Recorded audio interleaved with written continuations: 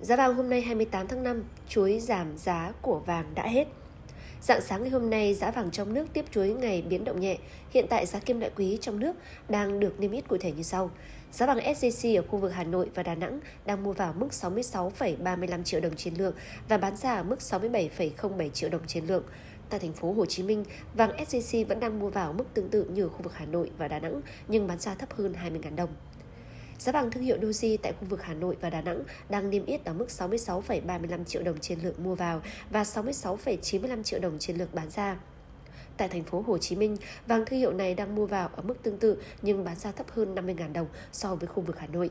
Giá vàng phú quý SJC đang niêm yết ở mức 66,35 triệu đồng trên lượng mua vào và 67 triệu đồng trên lượng bán ra. Vàng PNC đang mua vào ở mức 66,46 triệu đồng trên lượng và bán ra ở mức 67 triệu đồng trên lượng. Vàng Bảo Tín Minh Châu đang niêm yết ở mức 66,45 triệu đồng trên lượng mua vào và 66,98 triệu đồng trên lượng bán ra.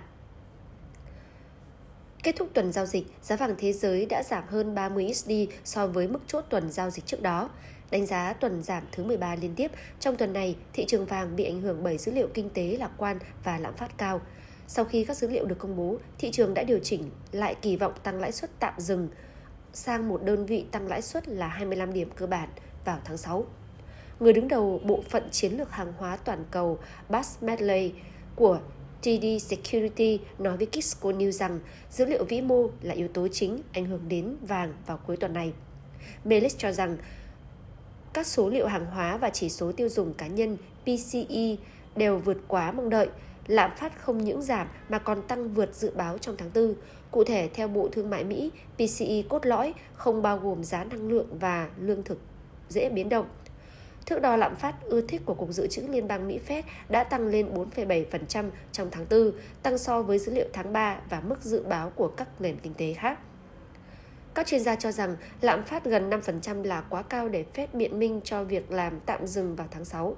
Kỳ vọng mới nhất của thị trường cho thấy 60% khả năng Fed sẽ tăng lãi suất tại cuộc họp diễn ra vào ngày 13 đến ngày 14 tháng 6. Chuyên gia kim loại quý Everest Millen của Gilles Coins nói rằng đây được xem là một sự đảo ngược so với kỳ vọng trước đó và điều này sẽ dẫn đến nhiều biến động hơn thị trường vàng. Đồng USD đã hoạt động tốt nhưng vàng đã phản ứng bằng một động thái giảm giá. Chúng tôi cho rằng giá vàng có thể giảm trong tuần tới, thời gian tới của quý và có thể sang đầu quý 3, Melek nói.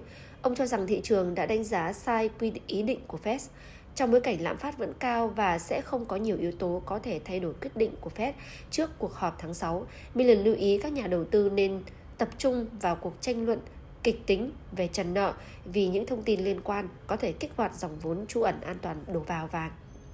Millen dự báo mức hỗ trợ tiếp theo cho vàng là 1.940 USD trên ounce. Nếu vàng vượt trượt khỏi mức này, tức là 1.915 USD trên ounce và 1.900 USD trên ounce là mức mà các nhà đầu tư cần theo dõi. Các nhà phân tích không loại trừ khả năng vàng giảm xuống còn 1.900 USD trên ounce. Milik nói mức hỗ trợ vàng vững chắc là khoảng 1.900 đến 1.896 USD trên ounce. Chiến lược gia thị trường cấp cao Frank Charlie của Royal Future nói với Kisco rằng có quá sớm để cho rằng vàng đã chạm đáy, mặc dù kim loại quý này đã giảm 125 USD kể từ kiểm tra mức cao kỷ lục cách đây vài tuần. Thị trường đang nói với chúng ta rằng chúng ta sẽ chứng kiến một đợt tăng lãi suất khác vào tháng 6 và có thể là một đợt nữa vào tháng 7. Vàng không thích điều đó. Với giá vàng trong nước biến động nhẹ và giá vàng thế giới neo ở mức 1.946,2 USD trên ounce, tương đương gần 55,4 triệu đồng trên lượng. Nếu quy đổi theo tỷ giá Vietcombank trừ thuế và phí, Chênh lệch giữa giá vàng trong nước và thế giới là hiện khoảng 11,7 triệu đồng trên lượng.